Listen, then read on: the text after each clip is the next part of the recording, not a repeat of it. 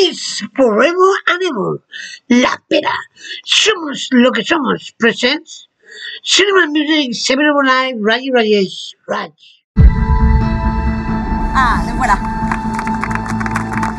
C'est tout à fait mérité, hein. votre livre est vraiment très fort. Merci. Toi, t'as été très très bon. Hein.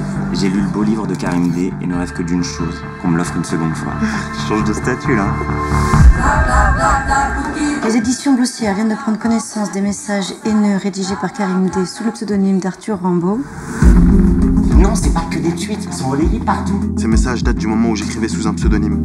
Arthur Rambaud. C'était de l'humour. Je dirige une maison d'édition et vous venez de torpiller vos ventes. C'est France Info, ils veulent Karim dans la matinale. Voilà, ça commence.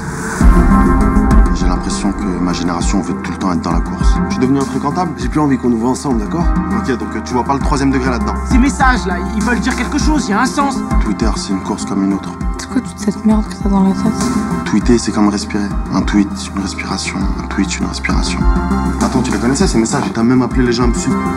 Je serais surpris que personne ne porte plainte. Bah ouais, parce que ça t'arrangerait bien ça. Tu me préfères dans ma banlieue et t'as trouvé le moyen de m'y ramener, c'est ça? J'attendais qu'on m'arrête et personne n'a jamais rien fait. Plus c'était trash et plus on me suivait.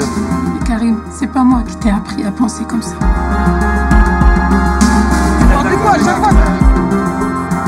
C'est sûr qu'ils nous préféreront morts.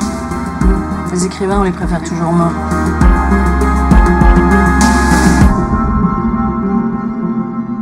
For watching one day more Cinema Music 7 Live Raji Rajesh Raj. And don't forget to share your videos with family and friends